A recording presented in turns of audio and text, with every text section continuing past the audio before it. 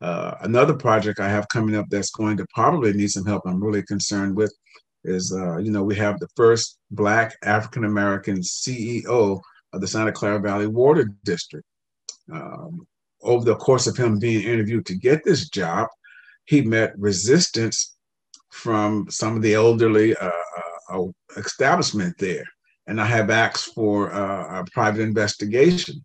That investigation has not come to fruition yet on what the findings are. But when it normally takes this long for them to find something for me that was already in writing, uh, gives me the concern. So this community must rise up and ask the question: Why was this black man given such a hard time, uh, or was tried to be discredited to even apply for the job?